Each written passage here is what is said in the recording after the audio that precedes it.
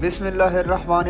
Screen पर जो आप वीडियो देख सकते हैं, इस वीडियो में मौजूद शख्स की तलाश है पंजाब पुलिस को, जो डोल की ताब के साथ नमाज़ के अरकान अदा करते देखा जा सकता है। सोशल मीडिया पर वीडियो वायरल हुई है, जिसमें मजमे में डोल बजाया जा रहा है और इस दौरान एक नौजवान अचानक नमाज़ शुरू कर देता है और इस दौरान वो अपने जिसम के मुख्तलिफ़ हिस्सों को